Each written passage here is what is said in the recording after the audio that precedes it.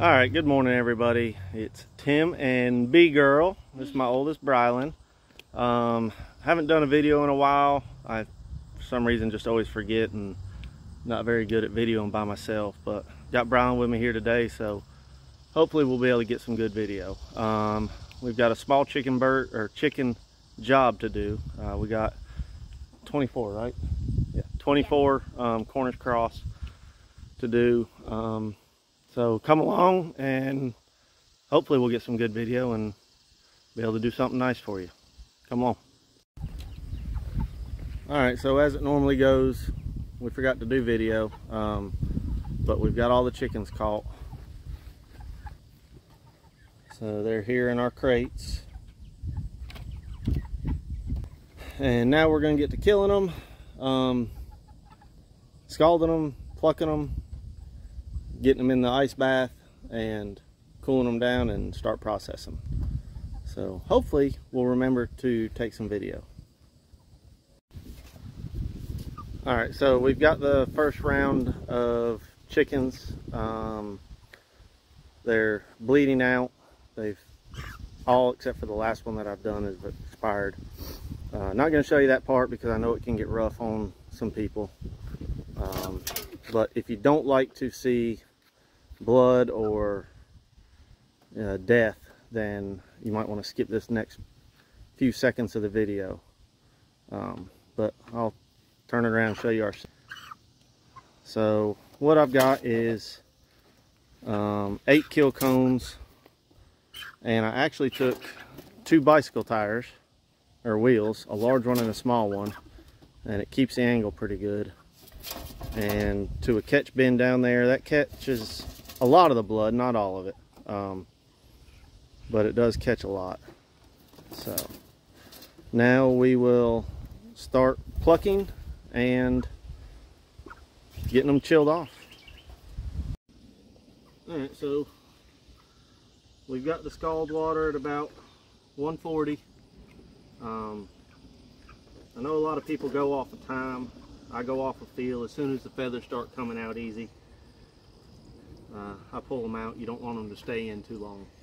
So another good thing to do is to work the birds around like this. Make sure that water gets into the feathers and gets to that skin so it eases up and releases. Alright, stop. Alright, so when you can take a wing feather and pull it out pretty easy, they're done.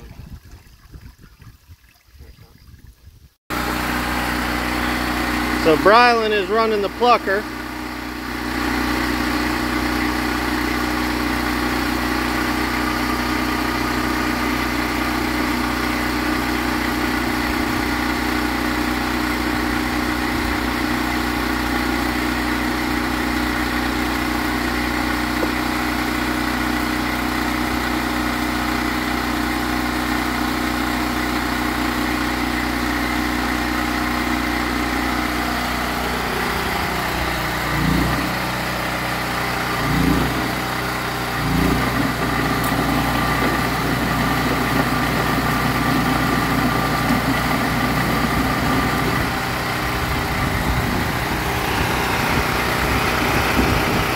Yep, run it again.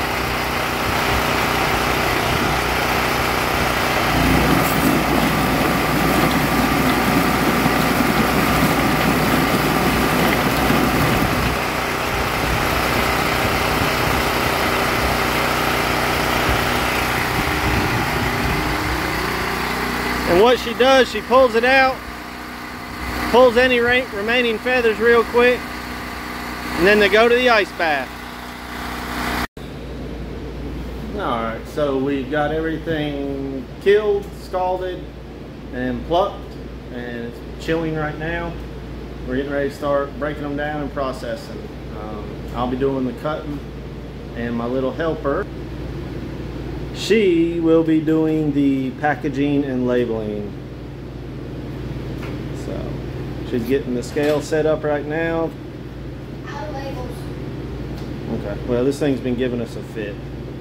Um, so we'll try to get some video as the process goes along. So let's get it going. All right, so we got one of our chickens. Um, they wanted it parted out into wings, thighs, drumsticks, and breasts, everything with the skin on, and they only want the chicken livers. So normally I'd be taking the head off, getting the crop, esophagus, throat, and then gutting it. But parting it out like this, I kind of save a little time and skip all that. So the first thing I do is tuck down.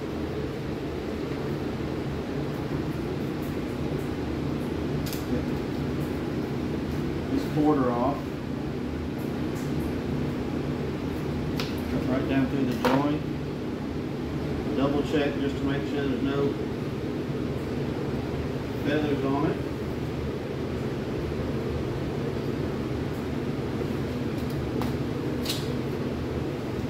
drumstick. We're going to check our thigh.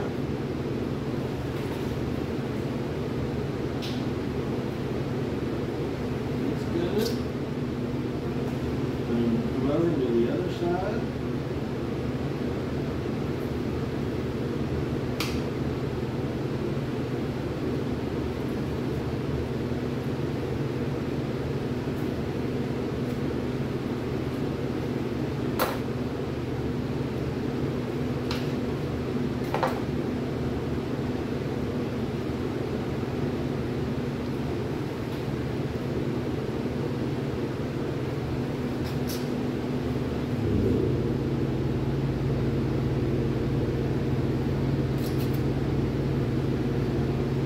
Okay. And I do the wings last because it kind of lets the bird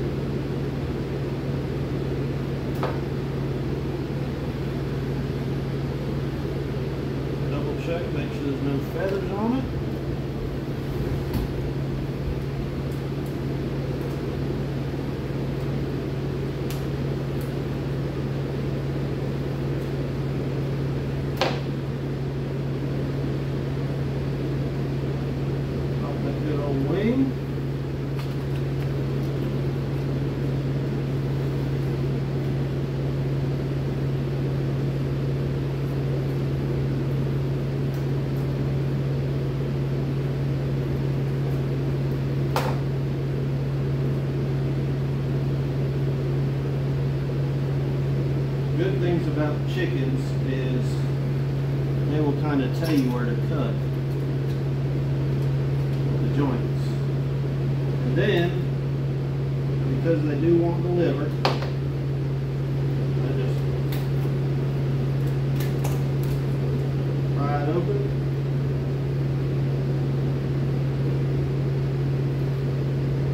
Detach the liver on that side.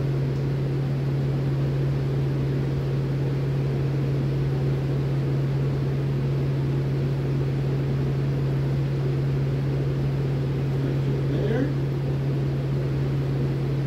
You gotta be careful of that gallbladder. pop it, the green goo will go everywhere. And there's our chicken. All right, Brylan is going to show us packaging a few things, so go ahead, B. So these are the breasts on the chicken. So I take the um the bag and put this put the breast in. Make sure it's nice and neat. And do the same thing for the other. And take the bag, put the breast in.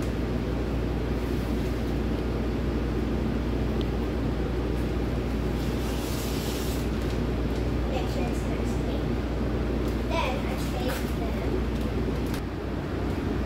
And then I take them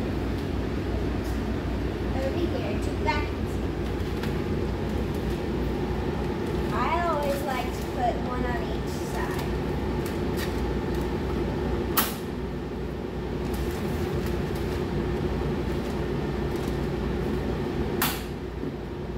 Then I back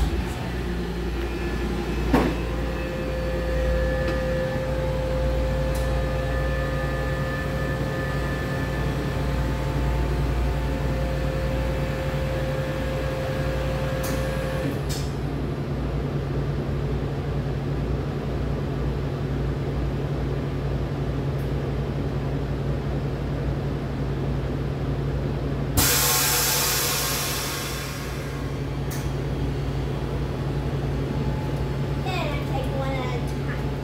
I have this on here that I don't say three zero. So I take it, the drumstick, that's correct. I type in the number, print it, then I go over here and get a sticker for the handling instructions. All right, well that concludes the day. We did. Uh, we ended up with 22 uh, Cornish cross. Um, did them in various cuts. We did six of them in halves, and the rest of them uh, broke down into pieces. But um, let me tell you something. This little girl and my middle girl Caroline, it's we're just so blessed. Um, the business is going great. We love coming out and um, rendering this service to y'all. But it's been a huge blessing for me to bring my daughters with me. Um, and it gives me extra time to spend with them while working. Um, you know, we don't we don't ever spend enough time with our kids. Uh, so I, I really enjoy that and getting to teach them some things that I love to do and maybe one day they'll take over the business. We'll see. But um, it's been a it's been a great journey so far, and we look forward to what the Lord has for us in the future. So, you got anything to say, B? I know one thing he likes to do. Hunt with me and watch me kill a big buck. Yep, I like going deer hunting with her too. So, all right. Well, thanks for following along, and we're gonna get out of here and go get some lunch. Have a good one.